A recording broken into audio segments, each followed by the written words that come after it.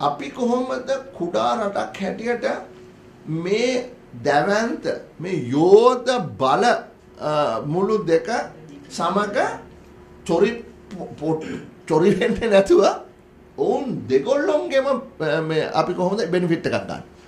එතන තමයි අපි අපේ රාජතාන්ත්‍රයේ මොලේ පාවිච්චි කරන්න ඒක තමයි ගෝඨාභයලා කරපු මහා ලොකු වැරද්ද. ඒගොල්ලෝ ආර්ථිකය කුඩු කරා විතරක් නෙමෙයි.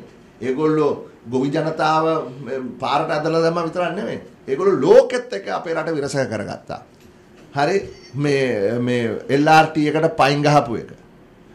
මේ නැගෙනහිර පර්යන්තයට පයින් ගහපු එක.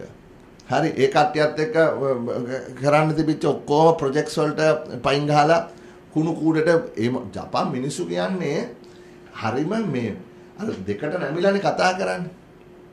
හරි හරිම අනිත් මිනිස්සුන්ට ලොකු ගෞරවයක් දෙනවා ජපානේ. මම ජපානේ මට ආරාධනා කරා ජපානේ රජය සතියක් ඔවුන් සමග ඇවිත් මේ ඔවුන් එක්ක යන්නේ එන්න ආයතන වලට යන්න කතා කරන්න മന്ത്രിලට කතා කරන්න මම ඉගෙන ගත්ත දේ තමයි පුදුම විදියට ගරු කිරීමක් තියෙනවා. ඒකයි ගරුත්වය කියන එක ඒ එහෙම සමාජයකින් එනකොට හරි අපි එකඟ වෙලා අස්සම් කරපු එග්‍රීමන්ට් එකක් ඔවුන් සමග සාකච්ඡා කරන්නේවත් නැතුව කුණු බක්කෙට ඉරලා දාපු එක තරම් ඔවුන්ට කරපු මේ ඒ කියන්නේ මුණට කෙල ගහුවා වගේ වැඩන්නේ කරන්නේ. එවැනි සමාජයකට ඇමරිකන් කාරයෝට කරන්න එක වෙනවද? හැබැයි ජපාන් කට්ටියට කරනකොට. හරි ඉතින් එවැනි විද්‍යට තමයි රට මේ ජාත්‍යන්තරත් එක්ක විරසක කරගත්තේ. ඉතින් මේවා හදන්න ලේසි නෑ. නමුත් මේවා හදන්න සිද්ධ වෙනවා.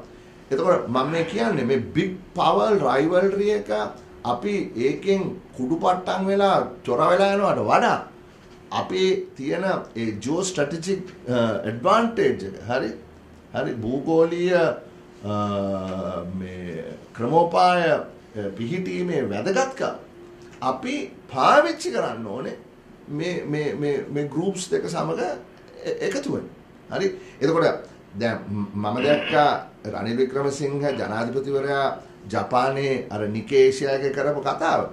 මේ ඒ ඒ ඒ ඒ ඒ ඒ ඒ ඒ අයිඩියොලොජි එක හරි. මොකද අපි යන්න ඕනේ මේ සියලු දෙනා සම්බන්ධ අපේ තියෙන්නේ friendship with all enmity with none. හරි ඒකත් එක්ක තමයි අපි යන්නේ ලක්ෂ්මන් කද්රිකාම වාගේ හිටපු ශ්‍රේෂ්ඨ විදේශ ඇමතිවරු ඒ ඒ ඒ එවැනි එවැනි දෙයක් කරන්න තමයි ලංකාව උත්සාහ කරන්නේ. උත්සාහ කළ යුත්තේ ඒක. හරි. ඉතින් ඒ නිසා අපිට මෙතන අවාසි වලට වඩා වාසි තියෙනවා.